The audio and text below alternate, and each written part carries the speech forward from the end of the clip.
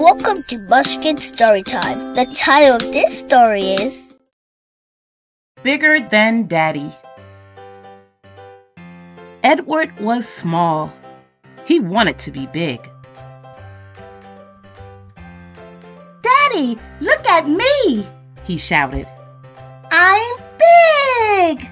Bigger than you! I'm looking at how big you are, said Daddy. But I don't want you to fall. Be careful. Look, Edward shouted. I'm an airplane. I'm taking off. Zoom, zoom. I'm flying. Time for you to fly this way, said Daddy. We need to go home for dinner. Edward zoomed out of the playground. He waited for his daddy at the corner. When the light turned green, they crossed. I wish I were tall, as tall as a tree, said Edward. You'll be tall someday, said Daddy, but not as tall as a tree. I wish I were big enough to ride a racing bike. You'll be big enough in a few years, said Daddy, but you're not big enough now. Look, said Edward. A fire truck! I can run fast, as fast as a speeding truck. Daddy chased after him. Slow down, Edward, shouted Daddy. I can't catch a fire truck.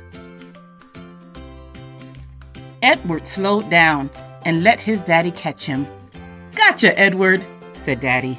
Will you carry me? asked Edward. Okay, answered Daddy, but I thought you wanted to be big.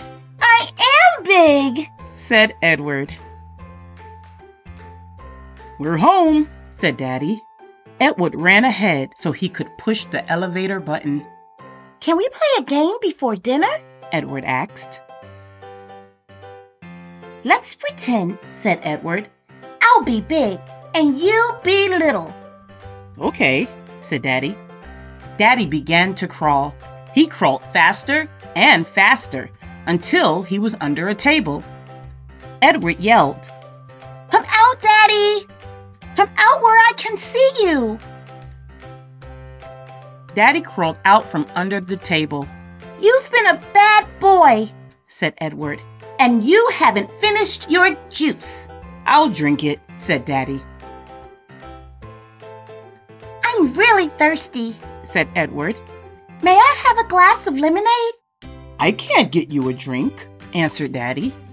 I'm too little. Said Edward. And I'm hungry. I'm too little, insisted Daddy. I'm too little to fix dinner. Okay, said Edward. No more pretending. You be Daddy, and I'll be Edward. Daddy stood up, big and tall. All right, he said. No more pretending. I'll get you a drink, and dinner will be ready in ten minutes. After dinner, Edward took a bath. What if I were a big, huge whale and swam across the ocean? asked Edward. If you were a whale and swam across the ocean, said Daddy, then how could I dry you off? Comb your hair? Tuck you in? And kiss you good night. The end.